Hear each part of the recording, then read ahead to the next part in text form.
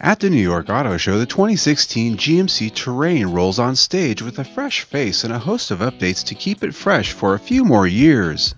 Both the 2016 Terrain and Terrain Denali receive a new front fascia and a flatter grille design to go along with a new Power Dome hood. Modern LED daytime running lamps are added too for a modern touch.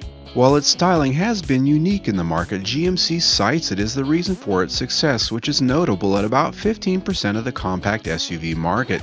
And while it looks more masculine, GMC says its style is female buyers' number one reason for buying. So along with its new updates and styling, the GMC Terrain also gets new wheel designs across the board with both 18 and 19 inch sizes. Inside, buyers will find an updated instrument panel with redesigned center stack which now has a small storage area for your personal devices. Chrome trims are added in a few select places including the shifter. New cloth trims come for the base models too.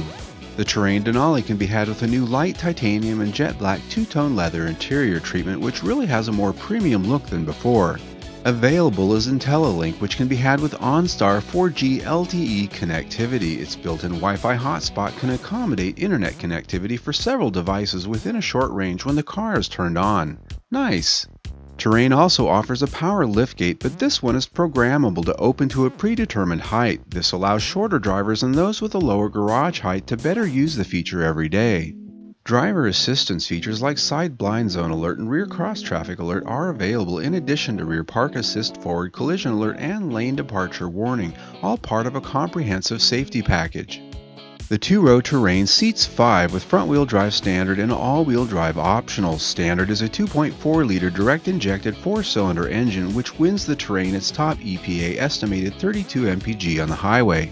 You can option the more powerful direct-injected 3.6-liter V6 which is also found in the Camaro and Cadillac models that has an impressive 301 horsepower. While less about fuel economy, it allows the Terrain to tow up to 3,500 pounds. While it's not 100% new, GMC shows it intends to keep their 15% in the compact SUV market, and then some. The 2016 GMC Terrain goes on sale later this year. I'm Sam Haymart for Test Driven TV. I hope you enjoyed the ride.